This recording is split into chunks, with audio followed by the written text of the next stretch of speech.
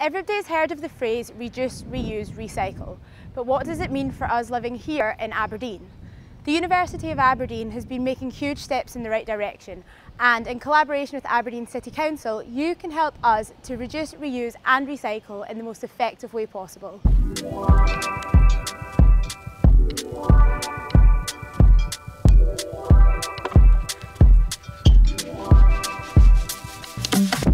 As much as we try to reduce and reuse our waste, it goes without saying that we will still be left with some.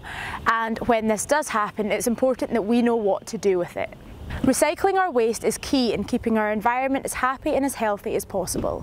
If our waste is disposed of correctly, it can start the process of being transformed. But what actually happens once we've put our rubbish into a recycling bin?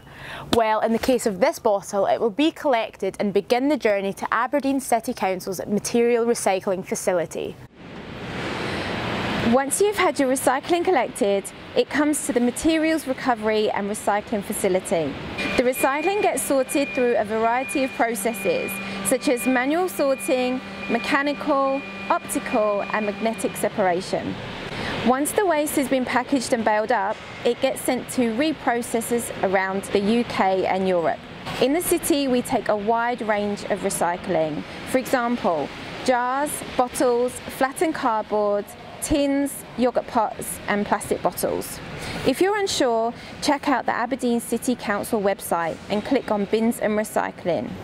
It's clear that what we do with our rubbish is extremely important and our old plastic bottle still has a long way to go after it leaves this facility. The next time you throw something away, think about the three R's. Think about what will happen to your product after you've put it into the bin and by doing that you'll be helping us to keep our city as clean as possible.